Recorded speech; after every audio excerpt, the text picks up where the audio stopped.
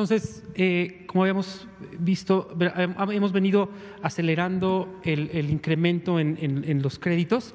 Eh, actualmente hay ya un poco más de 500 mil créditos que ya tienen los recursos en los bancos y está avanzando el, proceso gradual de, ir de que la gente vaya a activar las cuentas en grupos pequeños, en unas cuantas sucursales, en un horario limitado para preservar eh, las medidas de sana distancia y aún así tenemos un avance de 317.645 cuentas ya activadas al día de hoy, que importan por la cantidad ya de 7.941 millones de pesos. Tiene un, avance adecuado, se irá ah, em, completando en el transcurso de los siguientes días.